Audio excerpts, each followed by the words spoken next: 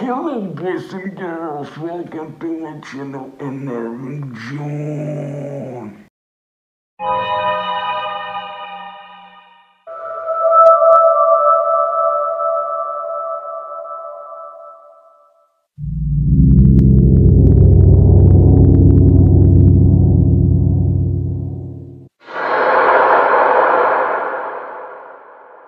Car tuning is the process of modifying a car's performance and appearance to suit the owner's preferences. The practice has been around for decades, and it has evolved into a multi-billion dollar industry. Tuning can range from simple modifications such as adding a spoiler or a new set of wheels to more complex changes like engine swaps and suspension modifications. In this article, we will explore the different types of car tuning and what they entail. Performance tuning. Performance tuning is the most common type of car tuning. It involves modifying the car's engine, exhaust system, and other components to improve its power output and overall performance. The most popular modifications include upgrading the air intake and exhaust systems, installing a turbocharger or supercharger, and tuning the engine control unit ECU, to optimize the fuel and air mixer. Performance tuning can significantly increase the car's horsepower and torque, making it faster and more responsive on the road. Suspension tuning. Suspension tuning involves modifying the car's suspension system to improve its handling and ride quality. The most common modifications include upgrading the shock absorbers, springs, and sway bars. Suspension tuning can also involve lowering or raising the car's ride height to improve its aerodynamics or ground clearance, respectively.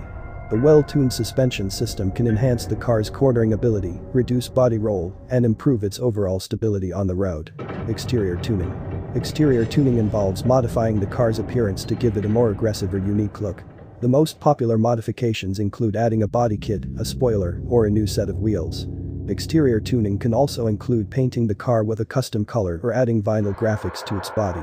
Some car owners go as far as completely transforming the car's appearance with custom bodywork and paint jobs.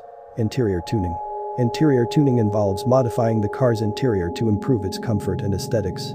The most common modifications include upgrading the seats, installing a new sound system, and adding custom lighting. Interior tuning can also include adding performance gauges, a new steering wheel, or a custom gear shifter. A well-tuned interior can make the car's cabin more comfortable and enjoyable to drive. Hybrid electric tuning. Hybrid and electric cars are becoming increasingly popular, and so is the demand for tuning them. Hybrid and electric car tuning involves modifying the car's electric motor, battery, and other components to improve its power output and range. The most popular modifications include upgrading the battery pack, installing a more powerful electric motor, and tuning the car's computer to optimize its performance.